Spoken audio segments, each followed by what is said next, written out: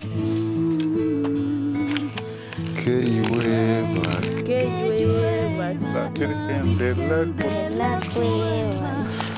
Pajarillos cantan. Las nubes se levantan. Que llueva. 137 niñas y niños murieron el año pasado en Guatemala esperando que lloviera. A causa de la emergencia climática, cada vez llueve menos. Se pierden las cosechas y apenas hay comida. En consecuencia, uno de cada dos menores de 5 años sufre desnutrición crónica, lo que multiplica sus posibilidades de morir.